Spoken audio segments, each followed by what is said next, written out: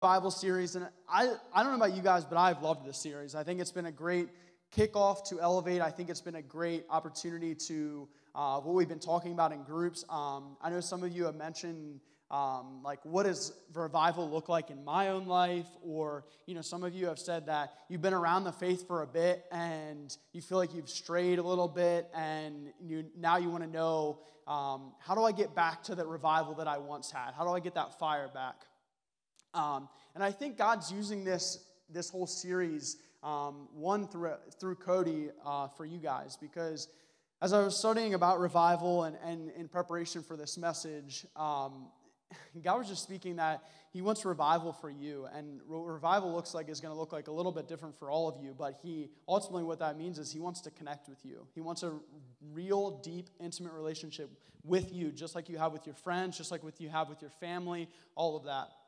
So I'm excited for it. So if you remember the first week, we learned that revival is, has a few definitions. It's like rebirth, regeneration, renewal, um, resurrection. Um, and tonight I want to add another definition to your tool belt. You've probably heard about it before, but it's this big word that we're all really scared of, and it's the word repentance. And repentance is the act of changing one's mind. Repentance is the act of changing one's mind. So, one way you used to think this way, and now you think this way. That is, that is repentance. I'm going this way, I'm thinking this way, I'm, so I'm doing these things. Now I repent doing this way, thinking this way. Now I go this way, so I think this way and do this way's thing. Does that make sense? Sorry, that was a lot of this and things going on there. But so this week we are talking about revival is repentance. Revival is repentance. So these words describing revival of rebirth, regeneration, renewal, it, it reveals that it starts with something that is dead, something that is without hope, something that is without life.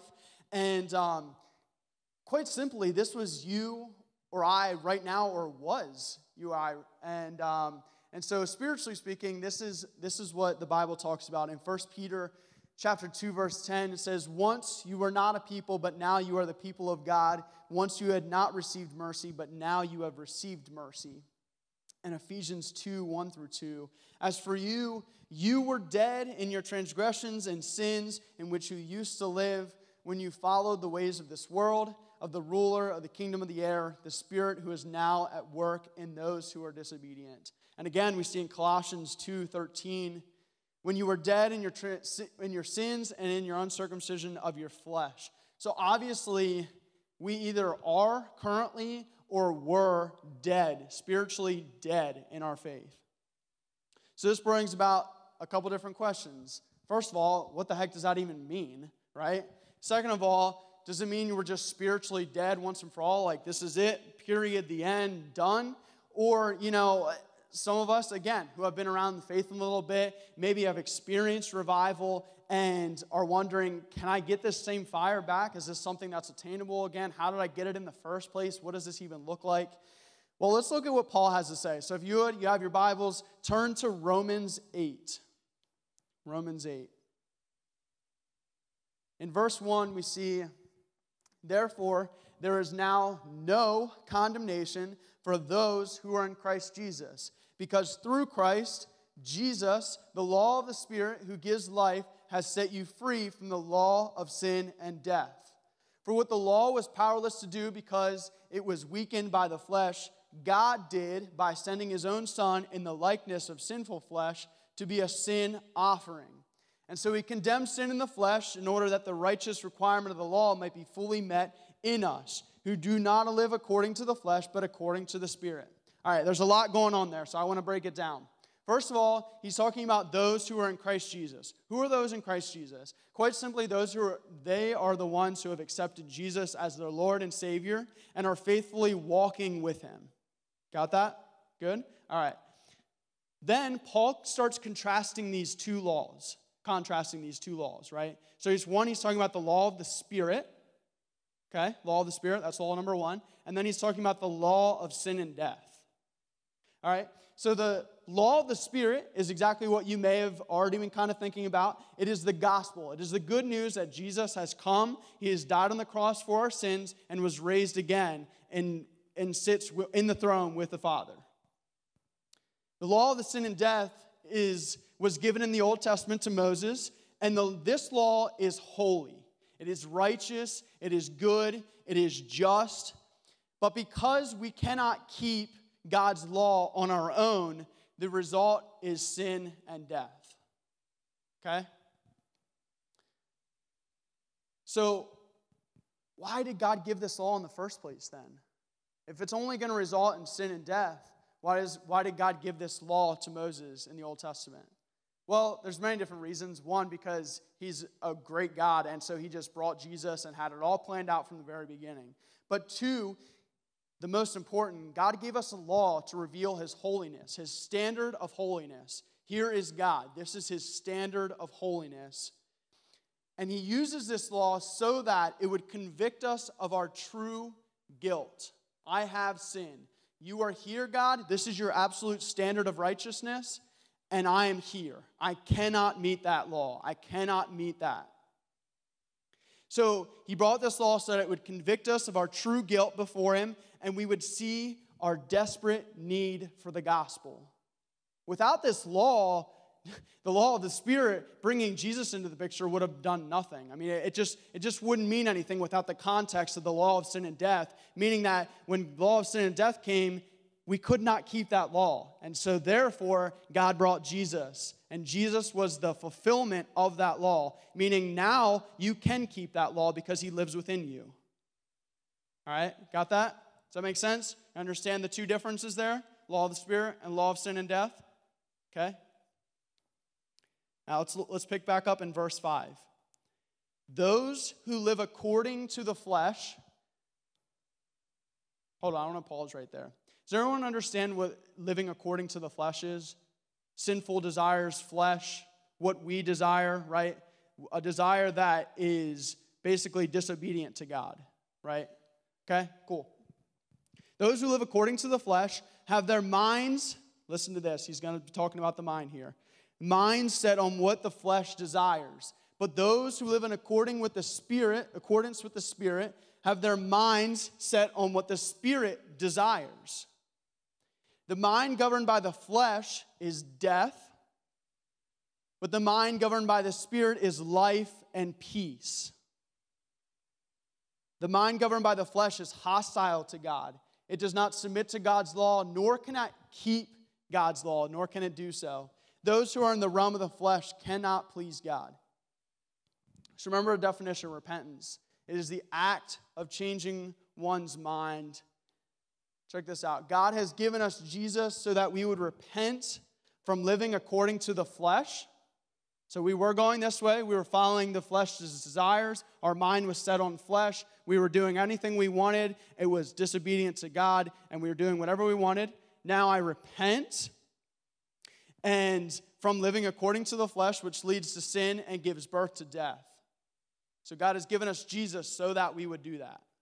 Okay? When we repent and begin living in accordance with the Spirit, we experience life, peace, and ultimately revival.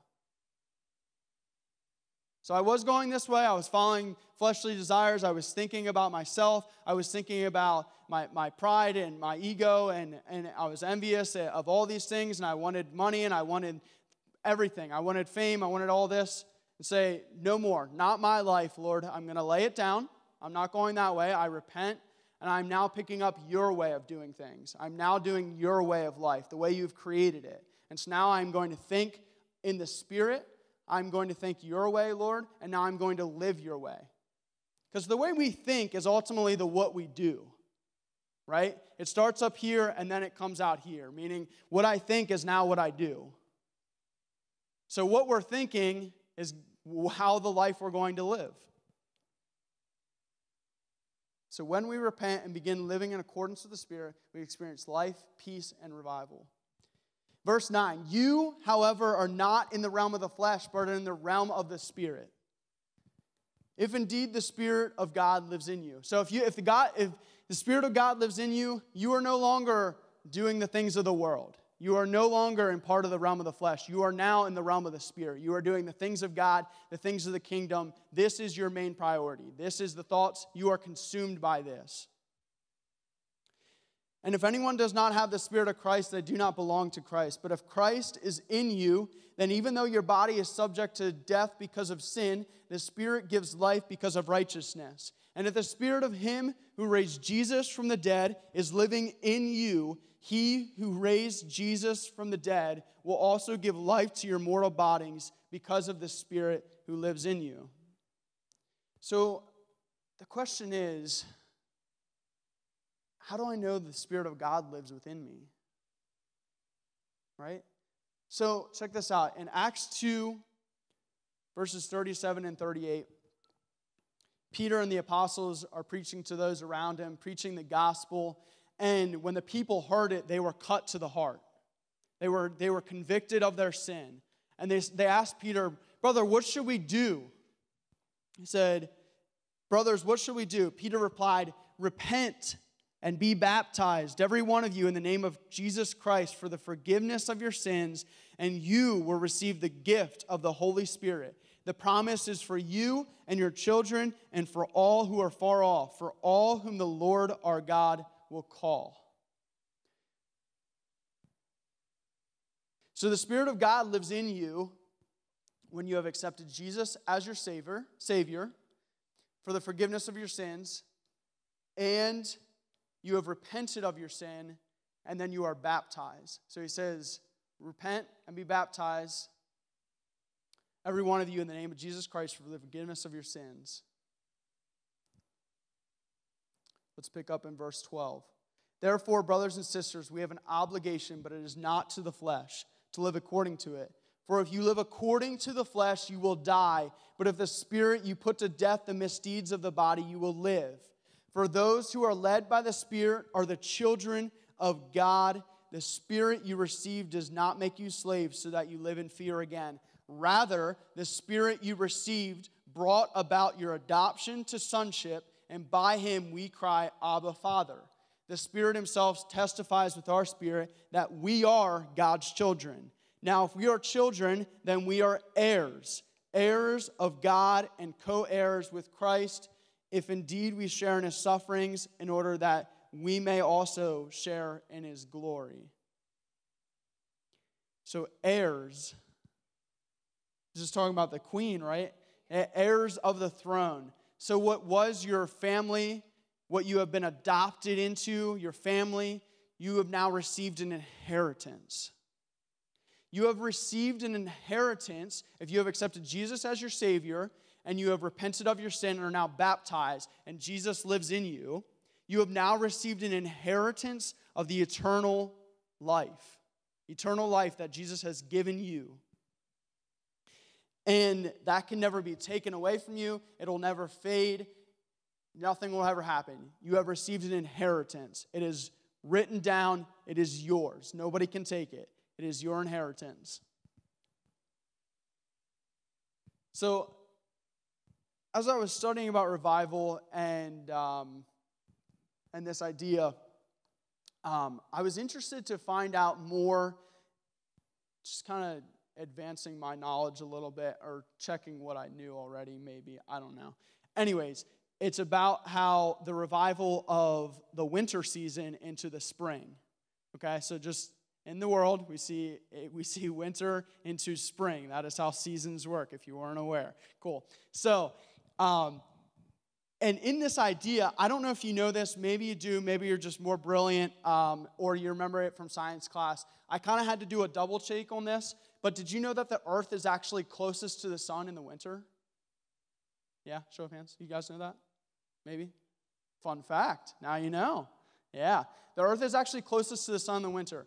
And the misconception is that when we're closest to the sun in the winter, you're like, okay, then why is it like 20 degrees out? Right? Well, it has to do with the, the way that the earth is tilted. So in the winter, we are tilted away from the sun, so it is colder. And when it's in the summer, we are tilted towards the sun. And so this whole idea was, um, you know, just kind of interesting. And I was thinking about two things in particular. One being, I'm always kind of like a what if guy, right? Like, what if we didn't have an earth that tilted? Which would just be interesting. I don't know. So I thought about that a little bit more. It's like, well, if we didn't have an earth that tilted, I guess we probably wouldn't have seasons, I guess. And in, re- in response to that, then if we didn't have seasons, then we wouldn't be able to see this beautiful transformation of dead and brown and gray in the wintertime to this beautiful, full of life and color and vibrant, just like awesomeness in the spring, which is just crazy concept, which maybe some of you guys aren't in all of God's creation. No harm, no foul. But um, I am. And so when I see this happen, it is awesome. And it reminds me of two things. So I two points based on this. This is two sub points. Reminds me of two things. One, my life is full of seasons. What does that mean? Well, sometimes life is going to be pretty awful. Just going to say it. The world's full of sin. We experience suffering. It is what it is. World's going to be like sometimes our seasons are not so good. And then we have seasons of great just like awesomeness and we are just excited and joyful all the time. And so it just reminds me that life is full of seasons and things change and things shift and things move. And, and so God's given us this picture of, of His creation of what our spiritual life looks like. The second thing is, um, and now I just lost my train of thought. But the second thing uh, is.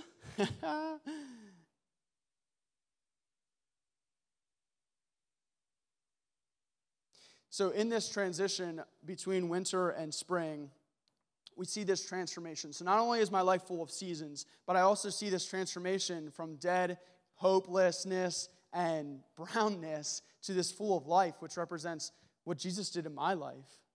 And so, not only will I see, do I see the picture of God using seasons in my life, but I also see God using what He did in my very own life when I first met Him. And so, God, God took my hopelessness, my sin, my, my disastrous life and, and made it full of hope, full of life, full of awesomeness. That's what spring is all about. Back to my second main point. Sometimes I think as Christians, we feel that we're really close to God, and um, I don't think this metaphor just goes fully all around, but just the way God was working in my mind at this time. But Sometimes I think that we're super close to God, and then a, a life altering event happens, like we lose a family member, or we lose our job, or, or just something crazy happens, and it, it, it rocks our faith. Like we're really not sure what we're going to be doing next. And we're questioning God about how, you know, what He's doing, and just really not understanding. And as I was thinking about this and its earth, the Earth's rotation, I couldn't help but think about how in the wintertime, we are, we are closest to God, right? So it should be warmer, but it's, it's flip flops. And I thought about it, it's like, well, it's not about how close you are to the source of life. It's actually where your eyes are focused. And it's exactly what Abby was talking about. And it kind of blew me away back there because God included this. And I thought all this was kind of silly. I was just going to get rid of it because you guys were going to think it was meaningless. And so here it is. But so it's this crazy concept that it's not actually how close you are to the source of life, not actually how close you are to God, but it's actually where your eyes are fixed. Or, in other words, where this metaphor comes is where your axis is pointed towards. So, if you're pointed, if your eyes are pointed to the Lord, you're actually going to walk closer to Him. Even though it, it may look, and again, this metaphor breaks down somewhere, right? But you get, you get what I'm saying, right? Does that make sense? Like sometimes it feels like we're, we're close, but it's not about that. It's about where your eyes are. In other words, here's an example. You guys, some of you guys were just at Momentum Youth Conference this summer. You can be so close to God, what must be like, you know, thousands of students that are that are pursuing the Lord and you just feel him and all of this, but if your eyes aren't on Jesus, you're not getting anything out of that week. Does that make sense? You can be so close to the Lord in your word every morning. You can be so close to the Lord in your worship every day. But if you are not looking and, and being aware of Him, all of that box check, all of that checking the box doesn't matter. It's not actually fulfilling your faith. It's not actually taking to, to that next step. So in Hebrews 12, 1 through 3, Abby started it. Therefore, since we are surrounded by such a great cloud of witnesses, let us throw off everything that hinders and the sin that so easily entangles, and let us run with perseverance the race marked out for us, fixing our eyes on Jesus, the pioneer and perfecter of our faith. It's just so interesting that he chose eyes, fixing our eyes on Jesus. Why not feet, fixing our feet on Jesus? Wherever Jesus goes, I go. I mean, I get it, but think about it. I mean, we, you guys have heard the example before that, like when you're driving, wherever you're looking is where you're going. The eyes are, are our navigation to where we're moving towards. And so it doesn't matter where you know, our feet might be pointed or whatever, wherever our eyes are looking, that's eventually where our feet are going to go. That's where we're going to go. So he says, fixing our eyes on Jesus, the pioneer and perfecter of our faith, for the joy set before him, he endured the cross, scorning its shame, and sat down at the right hand of the throne of God. Consider him who endured such opposition from sinners, so that you will not grow weary and lose heart.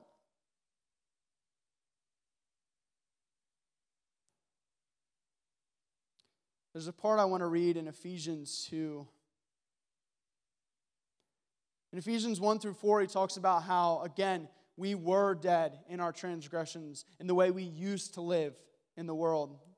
Verse 4, but because of his great love for us, God, who is rich in mercy, made us alive with Christ, even when we were dead in our transgressions. It is by grace you have been saved and God raised us up with Christ and seated us with him in the heavenly realms in Christ Jesus, in order that in the coming ages he might show the incomparable riches of his grace expressed in kindness to us in Christ Jesus. Again, for it is by grace you have been saved through faith. And this is not from yourself, it is the gift of God, not by works that no one can boast. And in verse 10, for we are God's handiwork created in Christ Jesus to do good works, which God prepared in advance for us to do. In verse 6 and 7, we see that God has raised us up and He wants to use you and I. And He says, in order that in the coming ages He might show the incomparable riches of His grace expressed in His kindness to us in Christ Jesus. So be prepared for God to use you. Be prepared for God to use your story.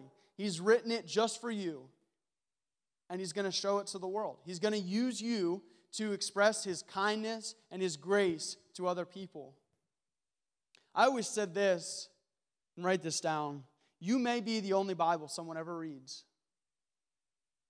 What does that mean? You may be the only Bible that someone ever reads. They may, not ever pick up a physical copy of the Bible. But by the way you live your life, by the way you talk, by the way you act, by the decisions you make, you are a representation of the Bible. You are a representation of Christ. You may be the only Bible someone ever reads. And God has given you a gift. And this gift is to be his handiwork. What does that mean? It is handiwork to do good works that he has already prepared for you so that he would be glorified. I want to finish with this. My questions, right? What does all this mean? Are we spiritually dead once and for all? Can we work to earn spiritual life? Maybe we've drifted away and now we're wondering how do we come back? Well, I want to answer all these questions. All of this means that when we repent and accept Jesus as our Lord and Savior, and we are baptized, we experience revival. We are bapt- when we repent and baptize, we experience the Lord. We are given the gift of the Holy Spirit, as is said in Acts 2. Are we spiritually dead once and for all? No not spiritually dead once and for all. That is why, as we talked about in Romans 8, Jesus has been the fulfillment. He is, he is the one that has made it possible. That Him dying on the cross and rising again has given us the opportunity to experience revival. And no, you cannot work to earn spiritual life, as we saw in Ephesians 2. It is a gift given to you. You just simply have to accept it. And yes, yes, yes, Revival is experienced every day. It is experienced in our connection with God. It is in the Word in the morning. It is in the Word in the evening. It is in our spiritual worship throughout the day. It is our awareness of what is He doing in my life? What is He doing in the lives around me? It is how we quite literally experience revival.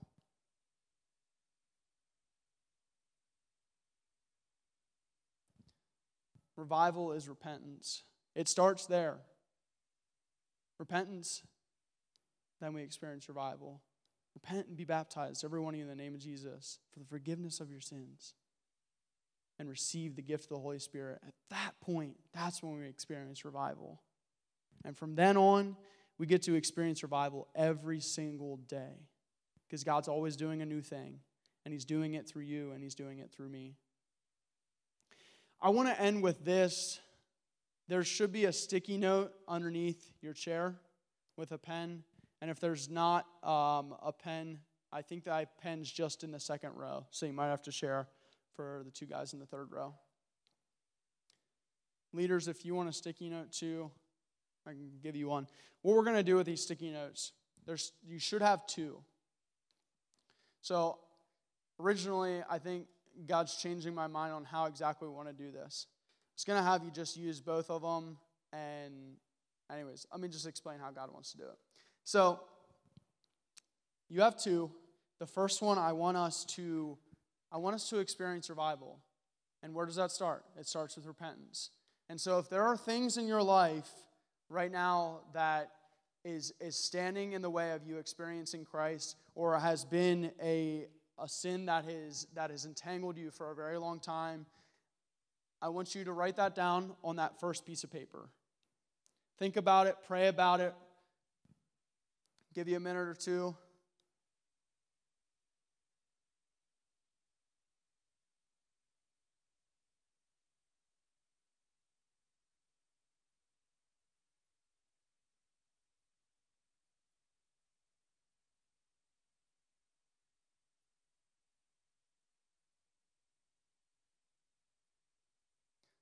The thing about repentance, as you're writing your word down or words or whatever you're writing down. The thing about repentance, it is, it is not a, a constant U turn. So I'm over here living the ways of the world, and, I, return, and I, I go back here, and now I'm living in the ways of the Spirit. My mind is set on Christ. I don't, I don't turn back. I don't turn back. I am focused on the kingdom. There is no like sort of reach back while also following God. Mm-mm. You're, you're all in. You're all in or nothing from this. There is no lukewarm Christian. There is no doing the things of the world while also trying to follow Jesus. There is not that. Jesus said, I'd rather you not follow me if you're not going to follow me, if you're not going to follow me full heartedly. It's all in. This is an all in type of thing.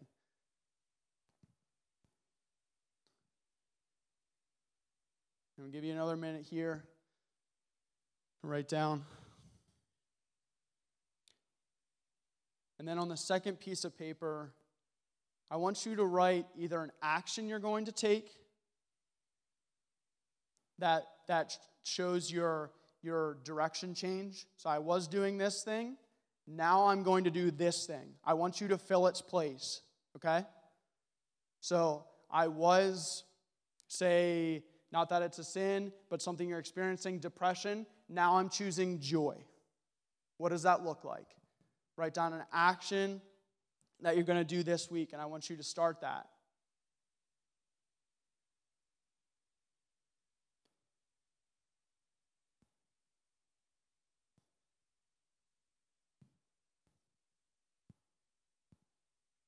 We're real here. We talk about real things.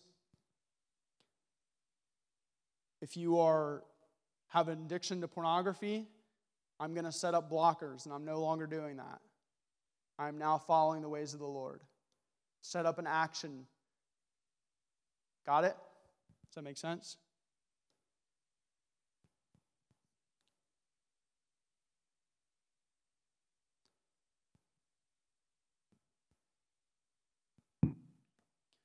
All right. I think most of you are done. What I'm going to do is pray quick and then what I want you to do is take that first piece of paper off, and I want you to crumple it up, and I want you to bring it to the stage. Nobody's going to read it, it's going to get thrown out, but I want you to bring it to the stage. You can do it now if you're ready, whatever you want to do. And then the second one, I want you to keep it. I want you to keep it in a place at home that you see every single day. When you wake up, that's what you see. Got that? All right, you can do that now.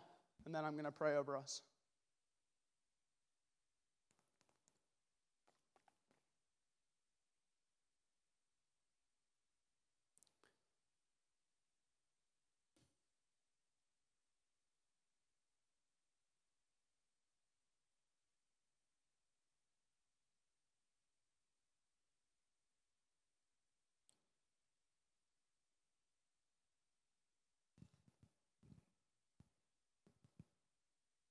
So, congratulations, you have now made the st- first step towards revival. This is where revival begins. Oh my goodness, words tonight. This is where revival begins. It starts with repentance. And if you haven't been baptized yet, and that's something you want to pursue, maybe take some time, think about it, look in the Word, whatever. I want you to approach myself or one of the leaders, and we'll just talk about it. Just try to understand what does it mean. Baptism is simply a public declaration of I am laying my life down some of you guys come here to church on Sunday mornings. We have baptism room back here. You are fully immersed in water for like 0.2 seconds. You go down. It is a public representation of I'm no longer living to myself. I am dying to my old self, my old ways, my old thoughts, my desires, and now I'm being raised again in new life. And now I am living, I was doing over here, now I'm going this way. Now I'm living in the Spirit. I'm living in the Spirit's minds. I'm consumed with His desires. So if, that, if that's you, don't have to do anything right now. Just come and see one of us if that's something you want to look into, talk about, see what the Word has to say about it. But it's repent and be baptized. It's not any different than what Peter had said in Acts 2. It's the same thing. And that's exactly how they experienced revival then, and that's how we experience revival now. It starts with repentance.